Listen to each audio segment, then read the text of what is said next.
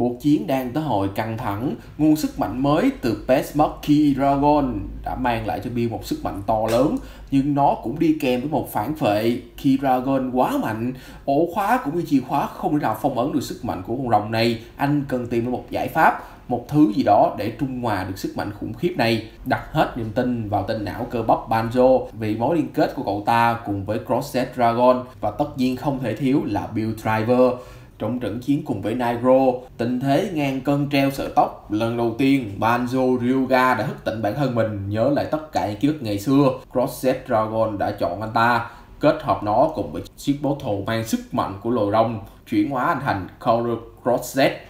Color Crossset bản chất là Color Build Dragon ở hai nửa, nó toàn bộ đều đồng màu với Bill Dragon, nhưng được trang trí thêm những hoa văn từ phần lửa vàng của rồng trên phần ngực tai và một phần trên cẳng chân của anh ấy. Có hình tượng giống với gai cũng như móng của loài rồng trên phần tay và vai của anh. Phần tay trái sẽ có biểu tượng to hơn và ngọn lửa rực cháy. Cơ thể phủ vào lớp chiến giáp giống như hình tượng đôi cánh của con rồng đang khép lại để bảo vệ anh.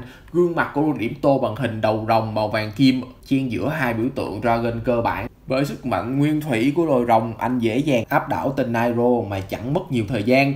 Vừa ra trận, anh đã ra đòn kết liễu thể hiện uy quyền của mình. Sức mạnh từ loài rồng và hơi thở của lửa. Ngoài ra anh có một vũ khí riêng cho bản thân là thanh Beast Closer. Đây là một thanh kiếm có hình dạng hết sức cơ bản chỉ là một thanh kiếm phương Tây, nhưng khi kích hoạt nó bằng phần chui kiếm nó sẽ chuyển hóa thành một thanh đo nhiệt để tạo những làn sóng xung kích cực mạnh được bắn ra từ thanh gươm này. Ngoài ra, nó còn khả năng gắn những chiếc bottle khác vào để kích hoạt những chiêu thức tất sát mạnh hơn. Thậm chí là triệu hồi lên ngọn lửa thiên của rồng. Đòn tất sát của anh, Dragonic Finish khi kích hoạt cùng với Build Driver.